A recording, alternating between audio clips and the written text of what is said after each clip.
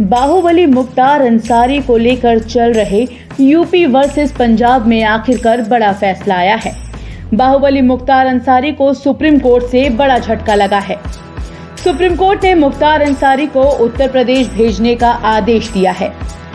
फ़िलहाल मुख्तार अंसारी पंजाब की जेल में बंद है और उत्तर प्रदेश सरकार आरोप लगाती रही है कि पंजाब की कांग्रेस सरकार में उसे संरक्षण दिया जा रहा है।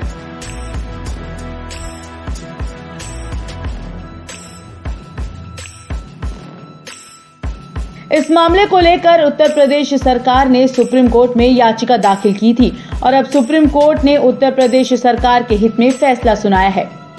सुप्रीम कोर्ट ने दो हफ़्ते के अंदर मुख्तार अंसारी को उत्तर प्रदेश भेजने का आदेश दिया है।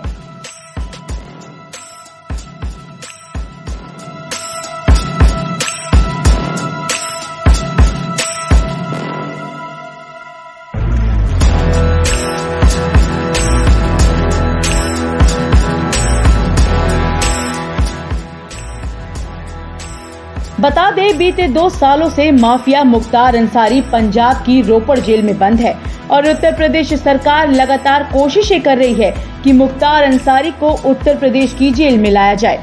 लेकिन पंजाब सरकार की ओर से हर बार जवाब दिया जाता है कि मुख्तार अंसारी गंभीर बीमारियों जैसे डायबिटीज़, डिप्रेशन और स्लिप डिस्क का शिकार है। तो ऐसी हालत में शिफ्ट नहीं किया जा सकता। पंजाब सरकार के जवाब के बाद से ये मामला सुप्रीम कोर्ट में चल रहा था।